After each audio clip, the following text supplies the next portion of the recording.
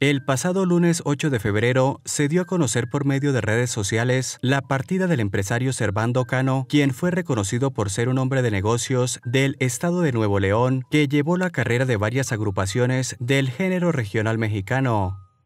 Su familia confirmó esta noticia diciendo que Servando partió a sus 78 años por motivo de un infarto a las 3 de la tarde del día lunes 8 de febrero.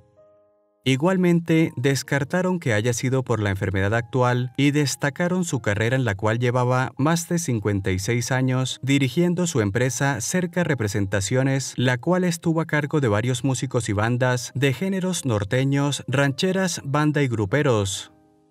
Servando Cano se hizo famoso en la industria musical realizando el famoso Palenque en Monterrey y uno de sus representados más famosos fue Ramón Ayala y aunque principalmente representó la música norteña, también manejó agrupaciones tejanas las cuales llevó a Monterrey en la década de los 90.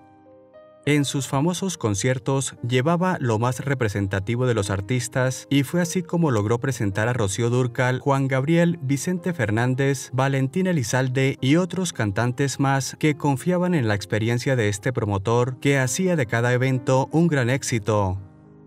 Servando Cano Rodríguez comentó que su carrera comenzó en el año 1964 cuando era un empleado de un banco, pero gracias a su amistad con Ramón Ayala y Cornelio Reina, quienes le insistieron para que manejara sus carreras, se convirtió en representante del grupo Relámpagos del Norte y desde ese momento se dedicó al mundo del espectáculo. En el 2018 recibió por parte del gobierno de Guadalupe Nuevo León la presea al mérito ciudadano Francisco de Barbadillo Vitoria en la categoría Cultura Popular. Desde Actualidades de hoy enviamos nuestras condolencias a toda su familia.